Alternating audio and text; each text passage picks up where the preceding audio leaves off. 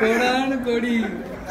இதும் ஊர்ல காட்டுவாங்க கோடானு கோடி ஃபேன்ஸ் வெயிட் பண்ணிருக்காங்க